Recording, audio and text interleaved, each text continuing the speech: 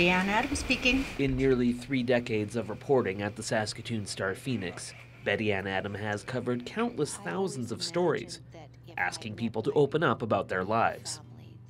Still, when it came time for her own story to be told, she admits it wasn't easy. I felt very vulnerable, but I felt like what right did I have to say no to it when, when I understood the value of other people telling their stories? As a child, Adam and her two sisters and brother were separated and adopted into different families across North America as part of the 60s scoop.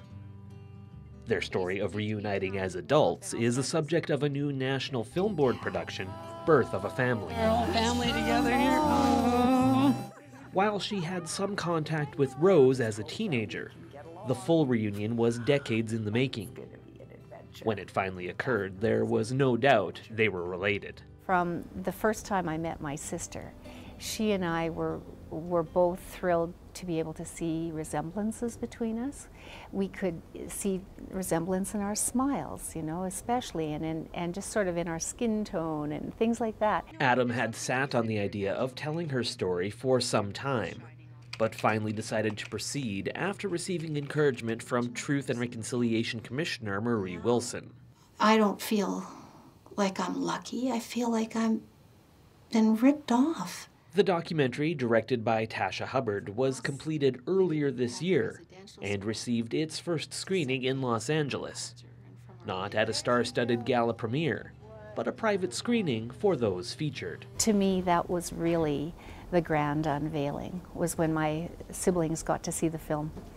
And, uh, and so that was wonderful. There wasn't a dry eye in the house. And for me, a big part of the pleasure was watching their faces while they watched themselves. Birth of a Family received a wider, though no less appreciative audience at the recent Hot Docs Festival in Toronto. Adam believes the screenings have helped people become more informed about the 60s scoop, or child removal system, that saw at least 20,000 Indigenous children be removed from their homes. Many people were hearing about this for the first time. Others had heard of it, but this really helped them to understand it. And I also heard from many people who had been foster children or adoptees. And now the film will make its debut in Adam's and Hubbard's home city of Saskatoon at the Broadway Theatre. She hopes the screenings will not only shine a light on the past, but also raise awareness about ongoing issues in the foster care and adoption system. Last night and tonight, there will be thousands of children going to bed without being hugged by their own mothers and fathers. And that is something that can be changed, but it requires the will of the people and the will of the governments to do what's right. In Saskatoon, I'm Simon Hyatt reporting.